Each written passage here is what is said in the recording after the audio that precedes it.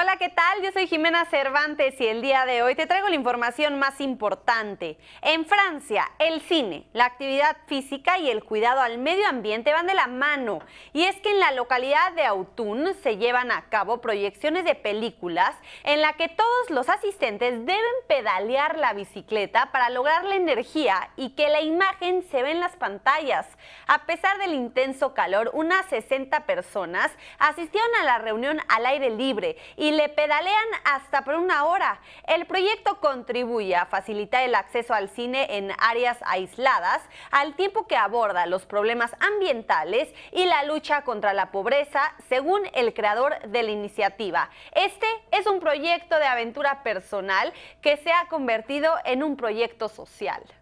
Y ahora vámonos hasta Bruselas, porque los habitantes de ese país realizan un singular festival anual medieval, en el que realizan la recreación histórica de la bienvenida que recibió Carlos V durante su visita a Bruselas en 1549. A esta simulación le llaman Omegag, que tiene lugar en la Gran Plaza de Bruselas y en la que todo el mundo asiste a disfrutar del desfile de banderas, los vestuarios de la época y otros curiosos a darle un repaso a la historia. Este festival existe desde 1930 y se ha realizado de manera continua hasta nuestros días. Euh, depuis euh, le Megank euh, sous sa forme actuelle et je existe depuis 1930 puisque nous l'avons recréé pour le centième anniversaire de l'indépendance de la Belgique. Maintenant on sait par des gravures qu'il y a eu des Megang à travers les siècles, entre autres pour le mariage de Napoléon, etc. etc. Donc il y a eu beaucoup de, beaucoup de à travers les siècles. Mais maintenant, en tout cas depuis en tout cas les années, fin des années 40, début des années 50, ça en effet sont discontinués. En otros temas, la ola de calor continúa golpeando a varios países de Europa, aunque las temperaturas bajaron en algunos sitios como en Londres, donde la víspera habían batido un récord desde 1976, mientras que en Portugal se controlaron los incendios forestales. En Francia la temperatura ha logrado récords de hasta 42 grados Celsius. Este hecho no había sucedido desde junio del 2005. La llamada canícula comenzó el domingo y originó un nuevo episodio de contaminación de ozono sobre todo en el sur y en la región parisina, donde se restringió la circulación vehicular. Y regresando a Portugal, la caída de las temperaturas, que había superado los 40 grados durante varios días, permitió a los bomberos controlar los principales focos de los incendios que arrasan el centro del país. La ola de calor se decretó oficialmente en Bélgica el miércoles por la noche y el termómetro registraba los 35 grados en la frontera con Holanda. Los servicios meteorológicos anunciaron que esperan que la canícula termine en la primera parte de la próxima semana, mientras que este mes se perfila como el junio más cálido desde el 2003. Y en Brasil, poetas, músicos y otros artistas callejeros protestaron en Río de Janeiro contra un fallo judicial que prohíbe sus actuaciones dentro de vagones del metro, de trenes o ferries. Los artistas urbanos señalaron que sus peticiones son auténticas, ya que llevan el arte a todos lados de la ciudad y no es para unos cuantos privilegiados. Además, sostuvieron que el cantar en el transporte público ayuda a los usuarios a reducir sus niveles de estrés y de ansiedad. El zoológico de Chapultepec tiene nuevos inquilinos y son seis lobitos mexicanos que ya juegan en su espacio. Vamos a verlos.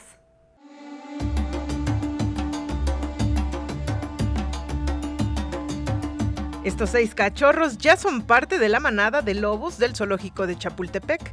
Nacieron el 12 de mayo, se encuentran en periodo de lactancia y ya salen de su madriguera por cortos periodos se vacunaron, se desparasitaron, se pesaron y por lo pronto se sexaron, pues sabíamos que había seis, pero no sabíamos si eran machos y hembras.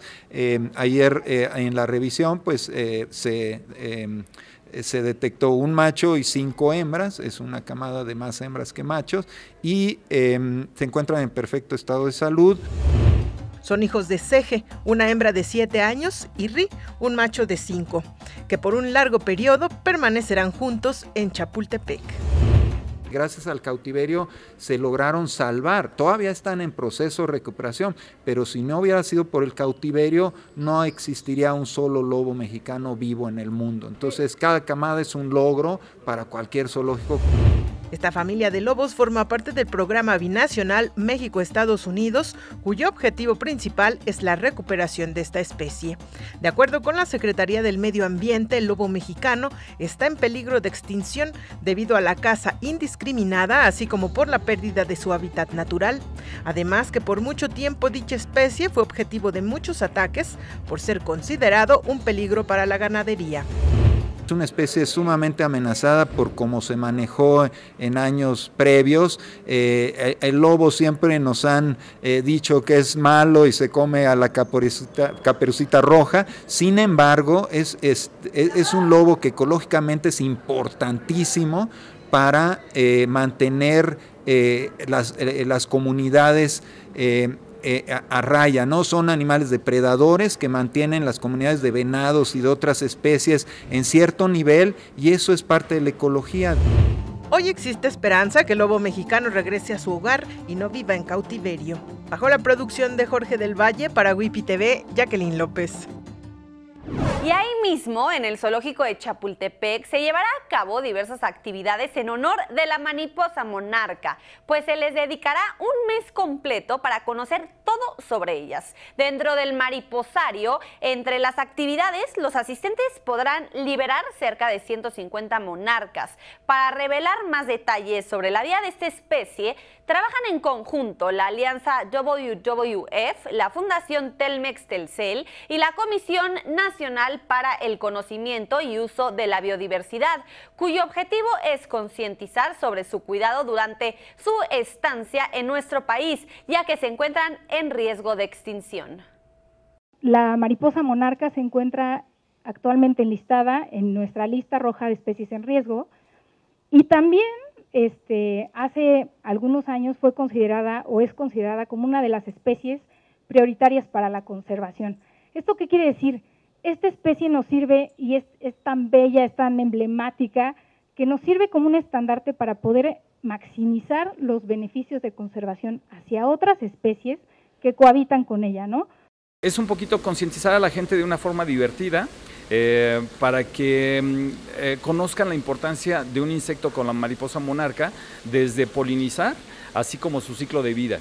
Cada vez que uno conoce más acerca de una especie, eh, la puede proteger y amar cada vez más. El Senado de Estados Unidos aprobó un proyecto de ley que destina 4.600 millones de dólares en gastos de emergencia para abordar la situación en la frontera sur con México y afrontar el flujo de migrantes centroamericanos. La iniciativa de otorgar financiamiento complementario se toma un día después de que la Cámara de Representantes aprobara su propia legislación para abordar la crisis fronteriza, que prevé gastar 4.500 millones de dólares en más protecciones para migrantes. Ahora el Senado de mayoría republicana y la Cámara de Representantes de predominancia demócrata tendrán que reconciliar sus propuestas conflictivas antes de que el proyecto de ley sea entregado al presidente estadounidense. Bueno, y cambiando de tema, la Asamblea General de la Organización de Estados Americanos se instaló en Colombia con un llamado del presidente Iván Duque a doblegar la dictadura en Venezuela y ampliar la atención de la crisis migratoria en todo el continente. El mandatario colombiano pidió además al resto del continente adoptar un estatus temporal de protección migratoria que le permita a los venezolanos acceder a todos los bienes y servicios para aliviar su situación, ya que de acuerdo con la ONU, un cuarto de la población venezolana, equivalente a 7 millones de personas, requiere atención humanitaria urgente, mientras 4 millones emigraron desde el 2015 debido a la debacle económica en el país. La Organización de Estados Americanos y el sistema interamericano debe ser capaz de denunciar a tiempo las dictocracias, porque por años se miró al costado cuando se estaba destruyendo a través de esa figura a Venezuela y que se ha convertido en la más brutal de las formas de opresión. Esto es acción deliberada, es una acción deliberada, represora y opresora sobre un pueblo. Al cual se le han avasallado todos sus derechos y se le han quitado el apoyo de las instituciones como para garantizar sus libertades fundamentales. Y los líderes mundiales del grupo de los 20 comenzaron en la ciudad japonesa de Osaka la cumbre de dos días en medio de las crecientes preocupaciones por las disputas comerciales y las tensiones geopolíticas a medida que aumenta la escalada de la guerra comercial entre Estados Unidos y China. Los ojos están puestos en los líderes del G20 que representan aproximadamente el 80% de la economía mundial y pueden lograr un acuerdo sobre la importancia del libre comercio y el sistema de comercio multilateral basado en normas que han beneficiado el crecimiento económico. Entre los asuntos a tratar se incluyen la economía global, la innovación digital, el empoderamiento de la mujer y el medio ambiente.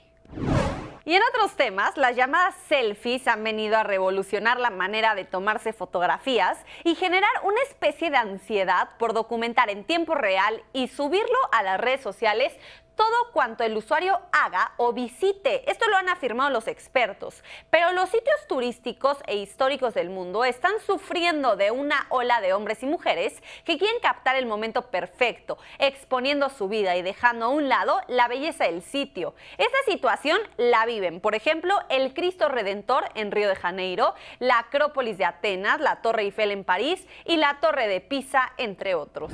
En Palacio Nacional, el presidente de México, Andrés Manuel López Reiteró su compromiso de regularizar la situación laboral de profesionales que trabajan por honorarios, tanto en el sector privado como en el público, y señaló que se enfocará en una primera fase en los trabajadores de la educación y la salud durante el sexenio, porque es un asunto que no se puede resolver de la noche a la mañana.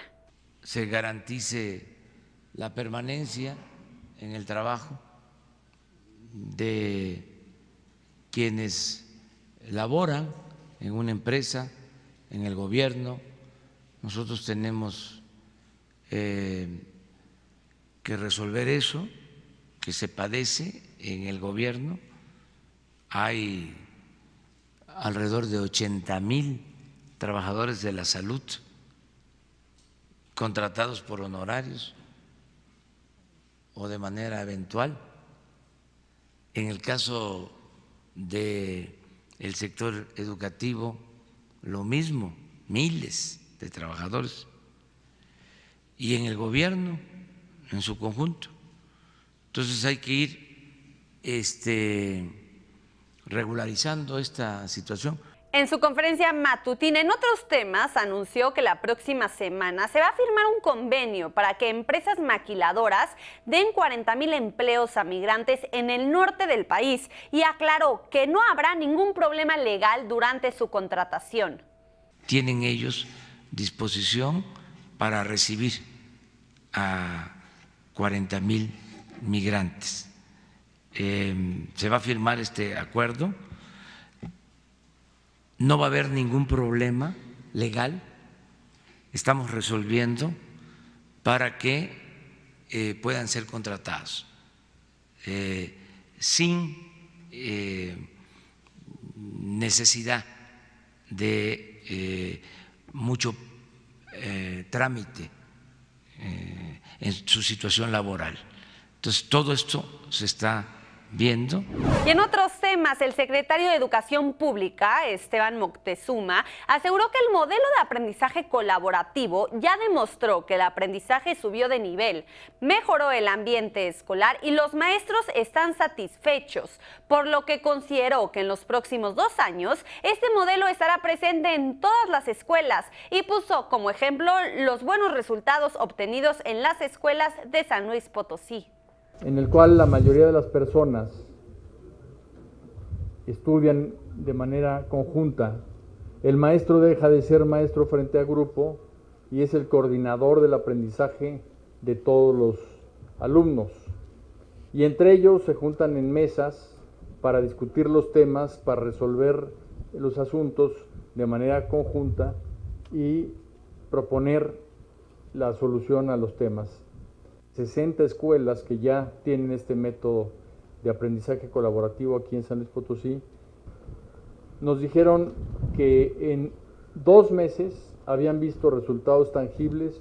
Para más información, tanto nacional como internacional, no dejes de visitarnos en nuestras redes sociales. Estamos como Wipi TV en Facebook, en Instagram y en Twitter. Ahí encontrarás muchísima información para mantenerte al día de los sucesos más importantes, así que no dejes de visitarnos. Yo soy Jimena Cervantes y nos vemos a la próxima.